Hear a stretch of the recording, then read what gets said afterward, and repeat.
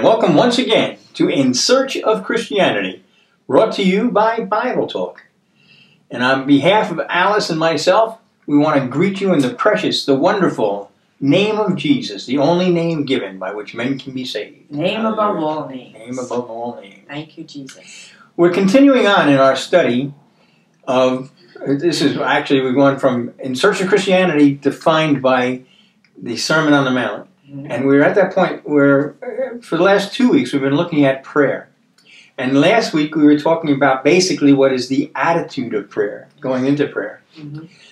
And uh, we're going to pick up where we left off, talking today about these two words Our Father. Hallelujah. But before we do, my dear Alice is going to ask God's blessing on our time together. Amen. Father, we do praise you. We do thank you. We do bless your Yes, holy Lord. name, Lord. And we thank you, Lord, for allowing us to come together and join together in your word. And we pray, Lord, that it will accomplish what you Yes, want in the hearts of those who are listening, in the hearts of those who are obeying. And Father, we just love you and praise you. And we know, Lord, that you are with us always. Amen. Amen. And we thank you for your gift of your Son, Christ Jesus. Yes. All right, as I said last week, we talked. Actually, I made a little mistake at the end of last week. Did you know? Yes, because I thought we were going to start today by talking about the second part of that, which is Our Father, hallowed be Thy name. But you know what? I it, it as I was praying this week, it just uh, I think the Lord impressed me. We really need to look at this more carefully. These two words, Our Father. Mm. All right. Okay. So, because our prayers have to be, they should be, but they have to be directed directly to the Father, as indicated by Jesus, Yes. or to the Father through the intercession of Jesus. All right? Because it says in 1 Timothy 2 5, For there is one God and one mediator also between God and men, the man Christ Jesus.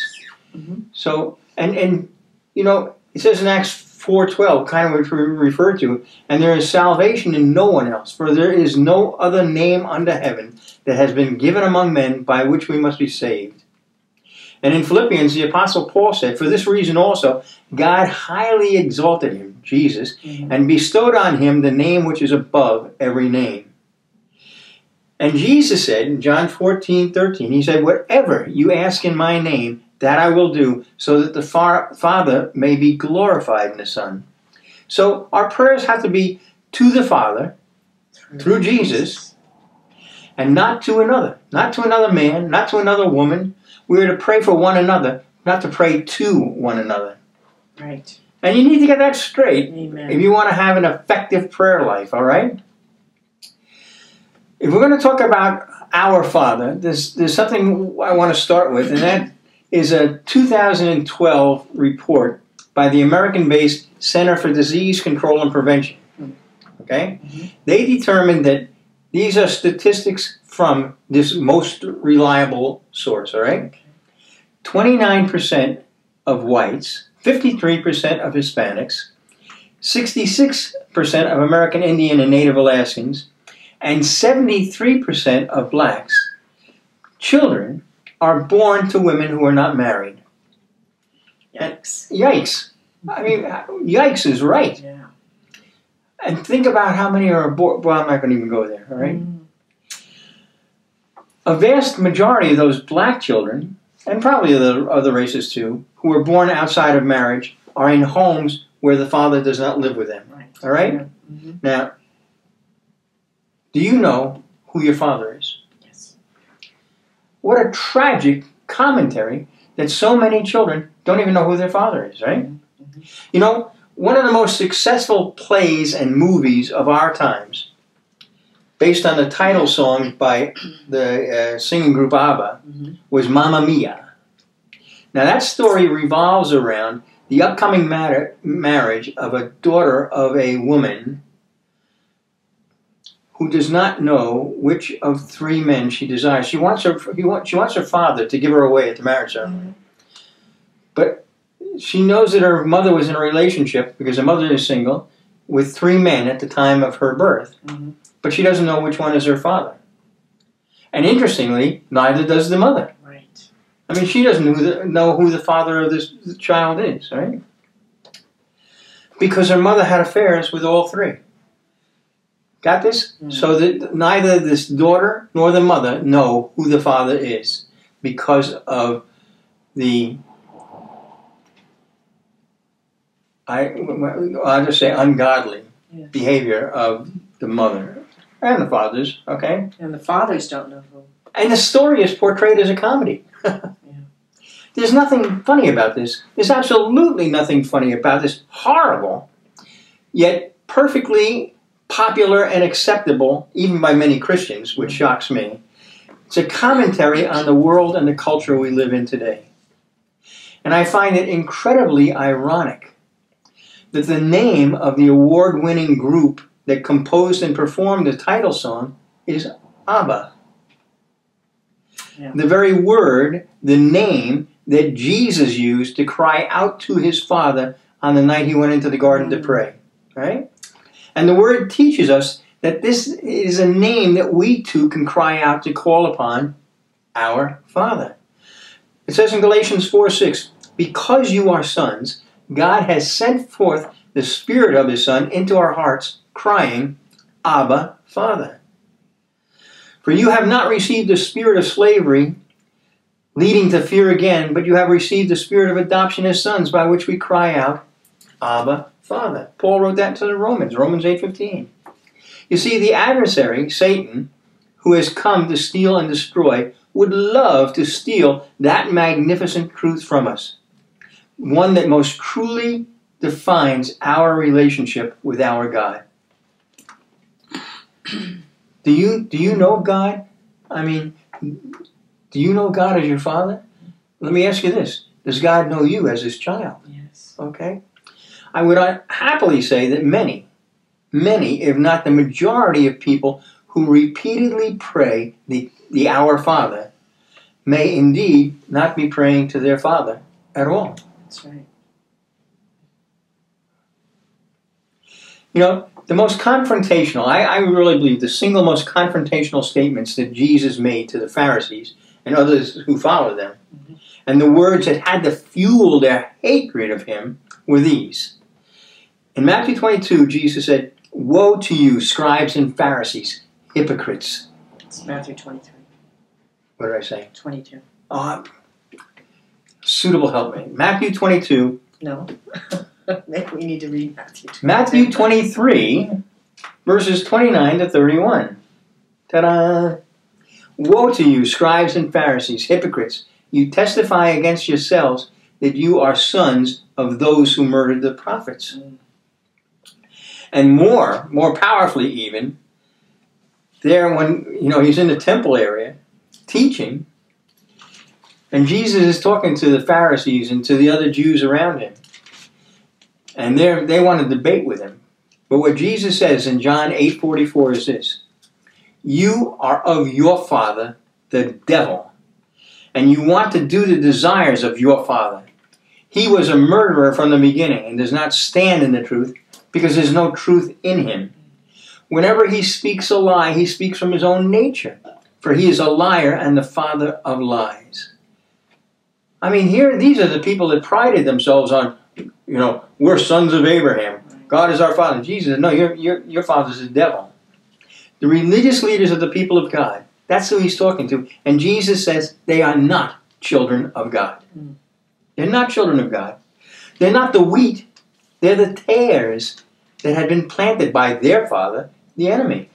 Ma- Look at the, go look at the parable in Matthew 13, verse 24 to 80, 24 to 30. Pray for me out there. So the question becomes, are you a child of God? Because if you're not a child of God, you can't pray our Father. You can't pray to the Father, right? What makes you a child of God? I'm going to give you six things, and we're going to just talk about a little bit. And you, you can look at more. And by the way, feel free to write to us at office at BibleTalk.com or go to our Facebook page, In Search of Christianity. Here are the six things that I put. Are you a child of God?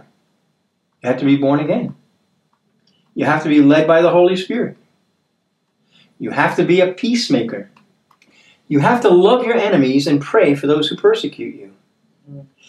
You know you're a child of God because He disciplines you. And you know you're a child of God because Herod's still trying to kill you. When those things are true, then you will understand His love for us all the more. You have to be born again. Okay? yes. I'm going to read from John chapter 3, verse, the first three verses.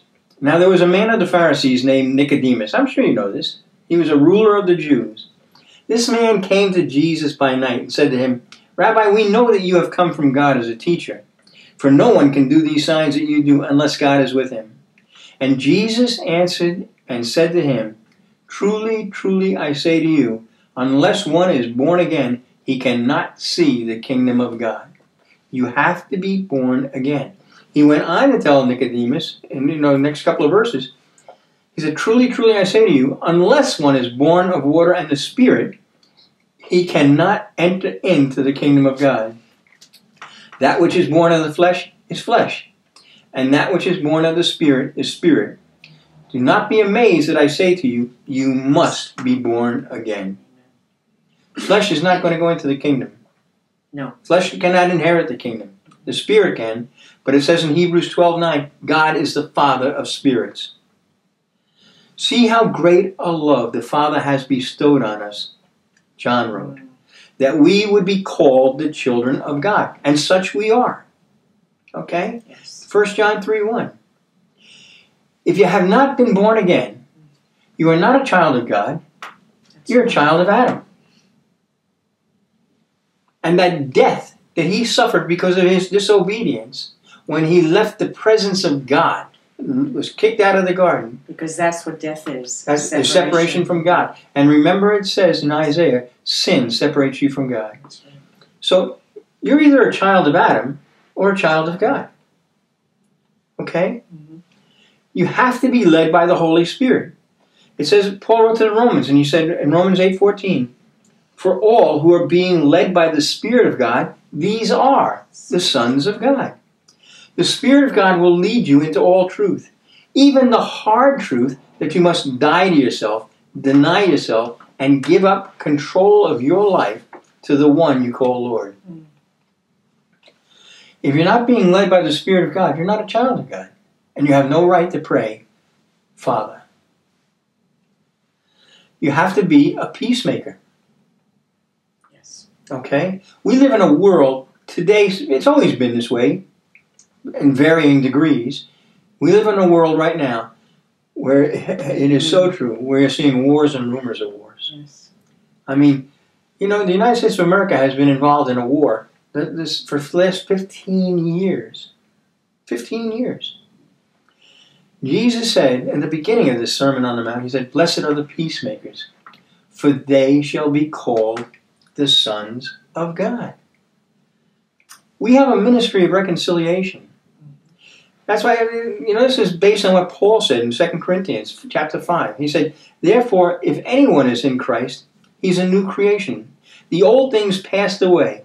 Behold, new things have come.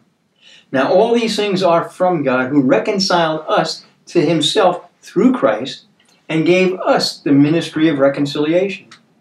Namely, that God was in Christ reconciling the world to himself, not counting their trespasses against them, and he has committed to us the word of reconciliation. Are you a child of God? Are you are you sharing this word of reconciliation that people can be right with God the Father? That God is prepared to accept them and receive them because of the atoning work of his son Jesus Christ. My goodness gracious, we are surrounded by terrorism. We are surrounded by attacks. We are surrounded by such hatred and bitterness. And not just by terrorists, by the way. So you have to be loving your enemies and praying for those who persecute you. Is this not what he said here in the Sermon on the Mount? But I say to you, love your enemies and pray for those who persecute you, so that you may be sons of your Father who is in heaven. If you're not praying for your enemies, if you're not loving your enemies, praying for those who persecute you, you're not a child of God.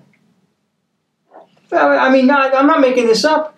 And this is not my idea. These are the very words of Jesus Christ. And by the way, those words are what will judge us on the last day. Do you love your enemies? Yes, that includes Al Qaeda, Al Shabaab, that includes ISIS, that, that includes the North Koreans, the Russians, the Chinese. I mean, name who you want. It includes the Republicans and the Democrats, depending on which side of the, that thing you fall on. Mm-hmm. If we're not loving our enemies, we're not children of God. And, and I'm telling you, this is a hard thing in the times that we live in because we are, you know, the world has always been involved in war. Mm-hmm. That's a fact. I mean, ever since Cain and Abel, right? Yes. But never has it been so omnipresent because every it seems like i every network has a 24-hour news program. The internet is filled with news. We are constantly aware and conscious of what's going on. Do you do you love the people that are so hateful? Can you love the unloving? Can you love the unlovable? Yes, you can. It is called the power of the Holy Spirit. It is because the love of God has been poured into your heart through that Holy Spirit. And it's because that word of God, that word of reconciliation, has been written on the tablets of your heart. But you have to choose to do it. Otherwise, don't pray, Our Father. Don't pray to the Father if you're not doing that. You can tell that you're a child of God. You know how? Because He disciplines you. It is for discipline that you endure. God deals with you as with sons. For what son is there whom his father does not discipline? This I'm reading from Hebrews chapter 12, verses 7 and 8. Listen to this. But if you are without discipline, of which we all have become partakers, then you are illegitimate children and not sons. That's pretty clear. That's pretty clear. And yet, such a vast number of churches today are preaching and teaching that there's peace, peace, when in fact there's no peace. Because God is, dare I say it, Mhm. intolerant of sin. Mm. Intolerant of sin, it must always be dealt with. And He deals with us as a loving Father, discipline. You know, we don't even like the we, we don't like the word disciple anymore. We don't like the word those who talk about discipline. We like we like mentor. We like mentor that, that man out of Greek mythology Yeah. because he makes suggestions. You know what? Jesus you Jesus doesn't make suggestions. The word of God is not filled with suggestions. From Genesis 1 to Revelation 22, they are the commandments of God.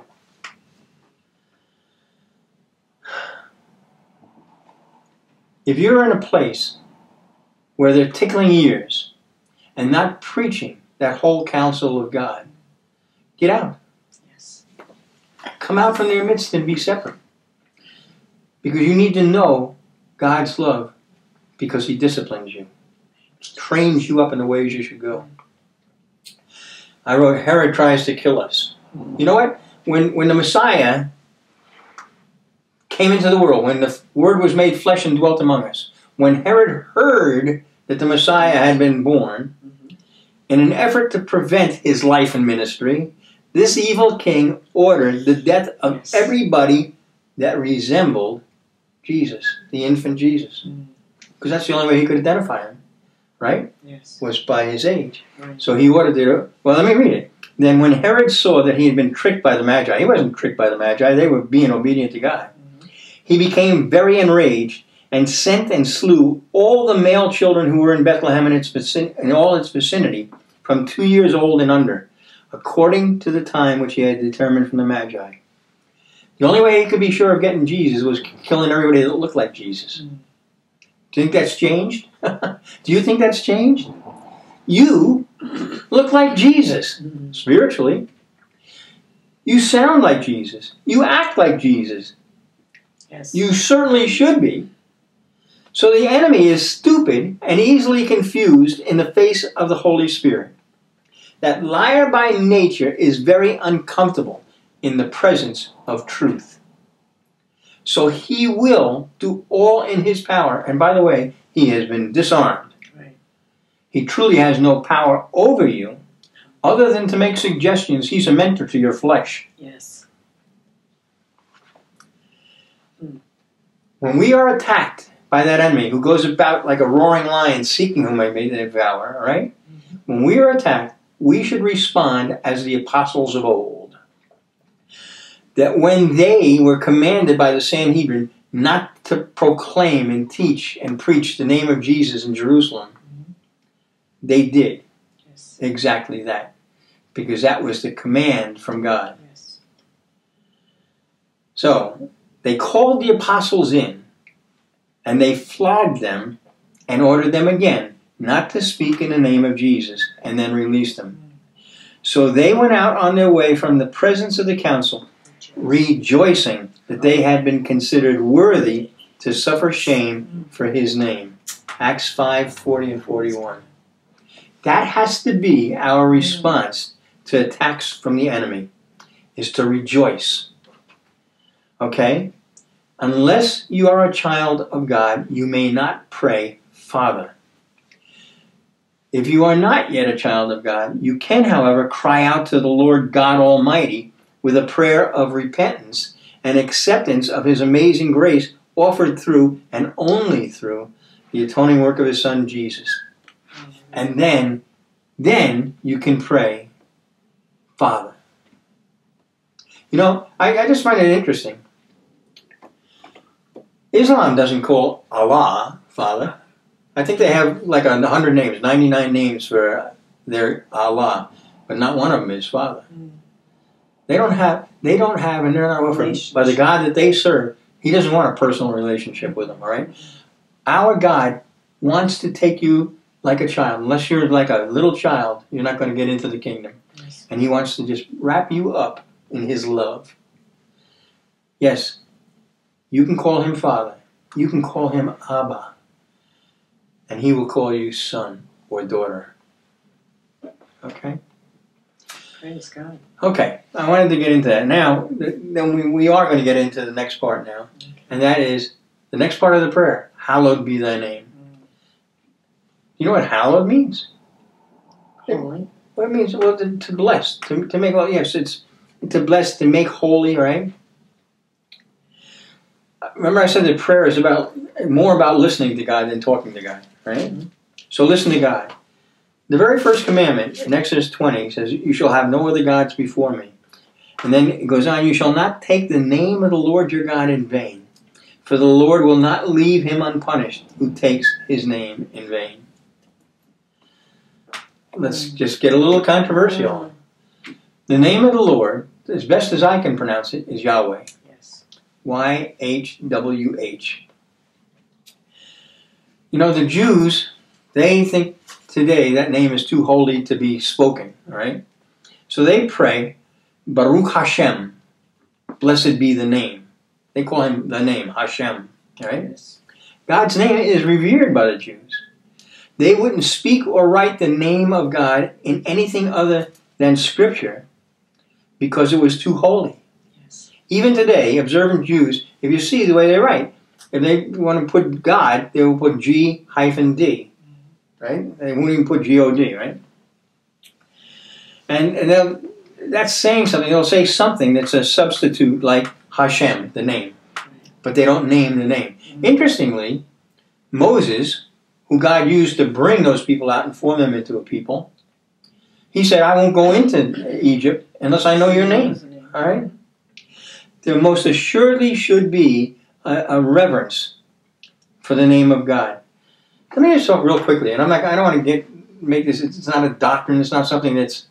But I do want you to know that the word Jehovah comes out of the fact that if you know Hebrew, Hebrew was originally written without any vowels. Okay, so you have the name of God. It's called the tetragram, uh, tetragrammon. It's YHWH, as I said. So that would be put there in the in the Bible. But since in the in the, I think it was the ninth century, they started to add the vowels to the words by using little dots and lines underneath the Hebrew writing.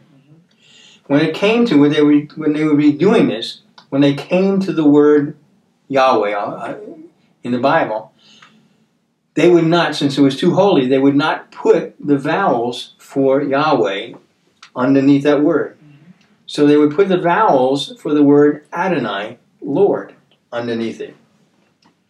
And okay, got that? So now you got this combination of the of the, the word YHWH, and underneath it, the vowels for a different word, the word for Lord. Right. And then, of course, when this is done and translated by the Roman Catholic Church into Latin, and they're doing all this, Mhm. when they come upon that, there is no Y in Latin. No. So they substituted J for the Y. Mm. And there's no W in Latin. So they substitute the letter V, which is what they had. I mean, that's where the word, the letter of W comes from, is a double V. Mm. And this is what this is the origin of the word Jehovah. Okay, and I just I want you to know that. I mean, it, you know, let let that sink into your spirit and do with it what you will. This is not. A, it's a made-up name. Okay. In Leviticus 22 32, it says, You shall not profane my holy name, but I will be sanctified among the sons of Israel. I am the Lord who sanctifies you. And, and by the way, in my translation of the Bible, and, and yours, very most likely, it doesn't use it doesn't put use the word Yahweh or Jehovah most in it typically just substitutes the word Lord, right? So I don't. I, I'm not going to go down that whole road here. In, in Ezekiel 39 7, God said, My holy name I will make known in the midst of my people Israel. I will make known in the midst of my people Israel. And I will not let my, my holy name be profaned anymore. And the nations will know that I am the Lord, the Holy One of Israel. Well, we're going to run short on time, so I don't, I don't want to get caught up in this. I do want to go back to this next week, all right?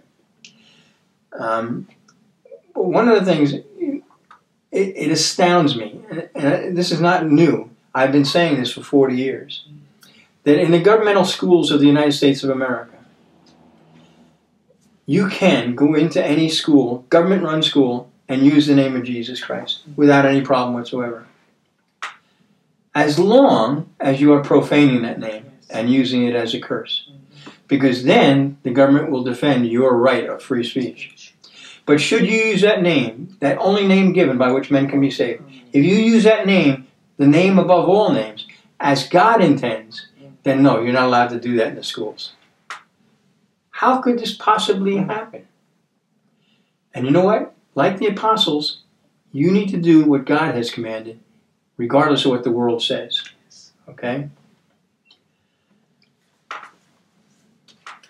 We need to learn to call on Abba.